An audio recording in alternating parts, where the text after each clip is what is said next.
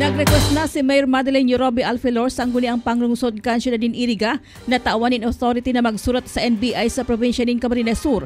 Tanganing pempestigaran ang mga nasa likod ka na naglalakop na fake news kontra sa sa iya. Sabi ni City's Councilor Sunny Maestrado, sa pinagibong sanggunian session, ipinagpasa na ninda ang request kan alkalde na magpasa ng resolusyon na mahurot sa NBI na mag-imbestigar sa panraraot sa alkalde lalo naman sa social media. Dugang pama ni Maestrado na baka ulang ang alkalde ang nararaot ang imahin kundi pati naman ang syudad ng Iriga, ninhuli naman sa apektado naman ini sa daing hutahot na pagpapaluwas ng fake news kung madeterminaran kan NBI kung isay an nasa likod kan panaraot sa imahen kan alkalde asaman syudad nin Iriga, maso na din kaso ang LGU Iriga sa pagiman kan legal officer. The, sa sa mga significant uh, request duman, especially ang request ng City Mayor as urgent, itong request for a passage um, of an enabling resolution uh, earnestly requesting the National Bureau of Investigation, NBI, Provincial Office of uh, uh, Camarines Sur, Naga City, the conduct of investigation on violators of the Cyber Crime Prevention Act of 2012. Mm-hmm. Uh, ito babaga sa mga ito yan or the Republic Act Republic Act number 10175 uh, Cyber Crime and Prevention Act. So iba kaya baga mga violations na nahihiling na bakulang an sa tuyang kalde ba the city government of Iriga medyo nag naghihiling na kayto to recognize and na an image kan si Tabiriga intero ng nararaot uh, sabi kan sa muyang resource person. So uh, we decided yesterday na tawan in authority ang sa tuyang alkalde to request the National Bureau of Investigation. And then kung iba man po silang ma-find found out na na po yan na violators kay itong RA 175 ito pong Cybercrime Act of 2012 so pwedeng magkaso ang uh, City Government of Iriga through our legal officers. Pero ang, ang pinakabuot sabihin ko itong ano, an NBI ang ma-determine kung si, si isa ang mga violators. And then upon finding, ang city government may cause a a, a case to them.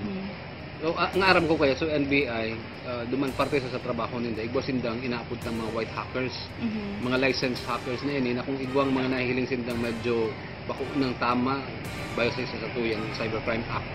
Lalo na it will fall on ko yan, kalaklan ka du- duman, bako man ako abogado, pero ang paghiling ko duman, ma madagos ito gabo sa libel.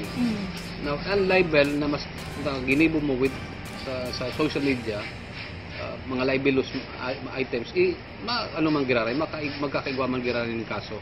Um, kuyan po, an gabos kaya kita, lalo na nagibo kami kay itong comprehensive land use plan, nagibo kita naman kita ng executive and legislative agenda.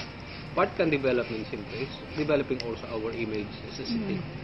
So, maski paano, ang, ang gabos na investor, ang gabos na mga kababayan ta, kung ang image kan sa imong lugar, medyo maluya, maluya man ang reception sa imo. So, hopefully, po yan. Para sa BHTV News Update, Tere Eraula.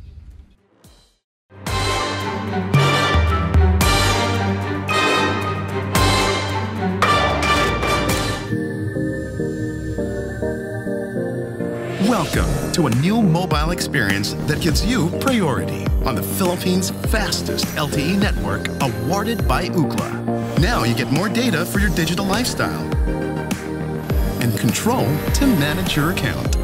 This is postpaid that gives you priority. The new Smart Signature. This is postpaid reimagined. Smart Signature. Tara na sa JJC Suits Laundry Services. Wash, dry, fold, and chill. Enjoy free Wi-Fi and TV viewing while waiting for your laundry in their fully air-conditioned and spacious laundry lounge. JJC Suits Laundry Service has also a parking space for easy drop-off. They also offer cold soft drinks, hot coffee, and other snacks. Convenience at your fingertips while you wait. JJC Suits Laundry Service also offers self-service and same-day pickup delivery. Highly recommended talaga for superb customer service. Located at Unit 1-E, Red Corner Residences, Don Street, Corner Dayangdang, Naga City, with contact number 0906 239 1957 or 099 9899 7714. So, ang extra service na ino-offer po namin ay comforters, ironing of clothes, hand wash, dry cleaning of shoes, and dry cleaning of clothes. JJC Suits Laundry Services. Convenience at its best.